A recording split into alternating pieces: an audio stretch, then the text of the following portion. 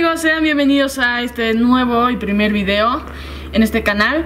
Hoy día les vamos a presentar un postre que tan solo contiene dos ingredientes. Como ingredientes tenemos como 2 litros de leche, dependiendo la cantidad que ustedes quieran añadir. Nosotros estamos añadiendo solamente 2 litros de leche. Luego tenemos lo que sería eh, lo que es la maicena. Es esto no se aplica mucho a maicena, pero ya es dependiendo de cuánta cantidad de cuánta cantidad de mezcla quieran hacer para el postre. Eh, vamos a empezar añadiendo lo que sería los 2 litros de leche a la olla. Mientras tanto, mientras cuece en fuego medio, vamos a esperar a que la leche empiece a hervir.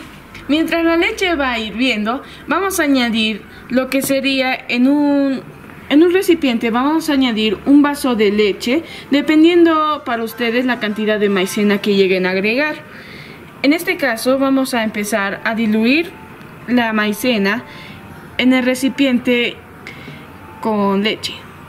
Bien, vamos a ir diluyendo poco a poco la maicena para que no se nos haga mucho trabajo. Una vez que lo hayamos diluido, todo vamos a añadirlo a lo que sería a la olla con leche hirviendo. Una vez diluido toda la maicena, vamos a proceder a añadir todo a lo que sería a la olla con la leche que ya está hirviendo. De una espátula vamos a empezar a mezclar los ingredientes. Y en este paso vamos a bajar el juego a juego mínimo para que los ingredientes se vayan mezclando poco a poco. En esta parte es muy importante que tengamos que moverlo todo el tiempo para que la mezcla pueda hacer su trabajo.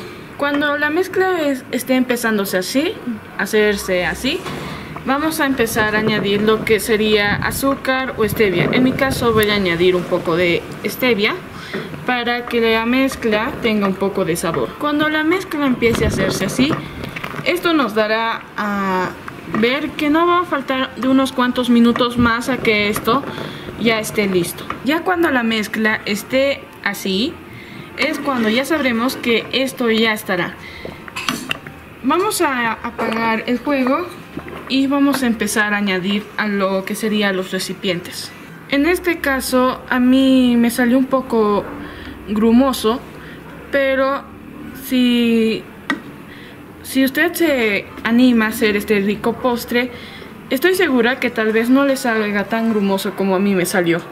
Ya puesto en el recipiente, esto lo vamos a llevar a la heladera por mínimo 3-2 horas porque no va a tardar mucho en que se enfríe. Vamos a continuar añadiendo a los siguientes recipientes. Mientras estos vamos a llevarlos a la heladera. Bien, ya nos quedaron lo que sería este rico postre a base de leche y maicena. Ya como pueden ver, ya está y va a llegar el momento de la degustación. Como pueden ver, nos quedó un poco gelatinoso. ¿Y cómo nos quedó? Delicioso, ¿cómo no? Mira, qué rico que está. Bien, hasta aquí llegamos con este video y este rico postre. Queremos decirles que le den una manito arriba y compartan este rico postre. Y anímense a hacerlo porque realmente está muy delicioso. Gracias por ver. Adiós.